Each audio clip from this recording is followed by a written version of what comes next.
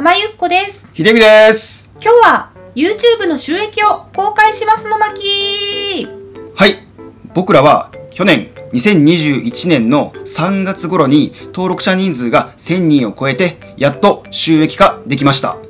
収益化を本気で目指して2人で動画を撮るようになってから約1年がかかりました。今回視聴者の方から収益を知りたいという意見をいただいたので2021年にもらった収益を公開したいと思います。そもそも YouTube の収益って公開していいのかっていう問題があると思うんですけど、それはいいです。もらった金額を正確に公開するんだったら大丈夫なんです。ということで、実際に振り込まれた金額を公開したいと思います。それがこちらです。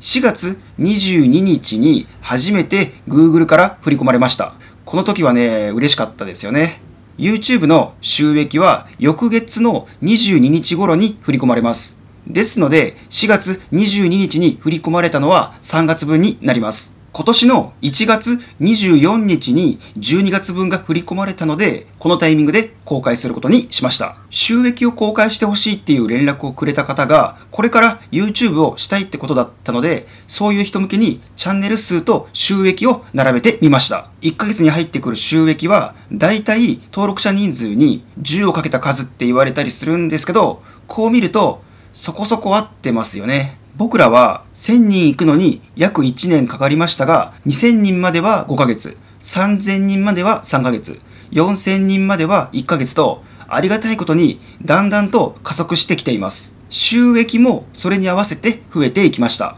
12月は年末に結構見てもらって過去最高収益となっています。2021年の収益を合計しますと27万5213円でした。正直ね、こんなにもらえるようになるとは僕たちはね、思ってなかったですね。まあ、ただ、まだまだこれだけでは生きていけるとか、そういう金額ではないですね。まあでも、僕ら二人で作った動画で、これだけお金がもらえたっていうのは、正直嬉しいですし、ありがたい話ですよね。いや、これは本当にね、普段見てもらってる皆さんのおかげかなって思ってます。本当にありがとうございます。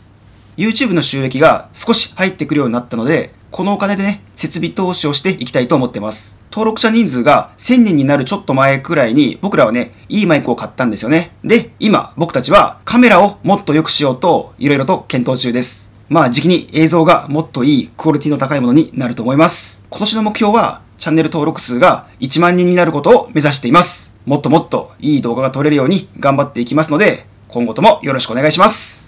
最初チャンネル登録数が350ぐらいの時から2人で始めたんですけれども、こんな風になるとは思ってもみなかったですね。そうですね。まあもちろんね、あの、収益化を狙ってて、で、1000人行くことを目指して頑張ってたんですけど、もうちょっとかかるかなって思いましたね。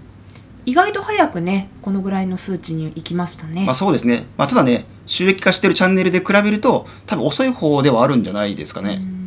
うんまあ確かにバズる系の動画は特にないので本当にコツコツコツコツ投稿することでここまでやってきたなって感じがしますねそうですね。バズるとかはなかったんですけど、コツコツやったおかげで、毎回見てくれるありがたい視聴者の方がね、結構増えたんで、そこは嬉しいですよね。そうなんですよコメントとかね結構励みになってますまあ僕はね、コメントはね、全部見るようにしてるんでね。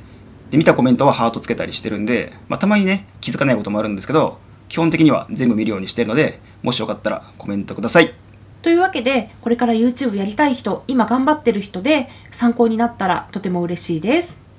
はいというわけで今回は YouTube の収益公開しました浜ゆっこと秀幸。がお送りしました。ためになった楽しかったという人は高評価とチャンネル登録お願いします。チャンネル登録するとお得情報をいち早く知ることができますよ。